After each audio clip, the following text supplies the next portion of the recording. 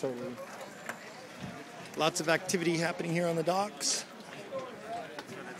Everyone's rigging, getting ready to go. It's about 9:30 right now, plus or minus.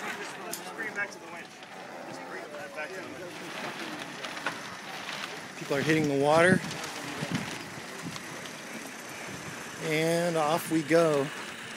The um, the wind is still coming out of the north, probably 15 solid, and uh, it's quite puffy. We've saw we've seen a couple of decent puffs come through, and off we go.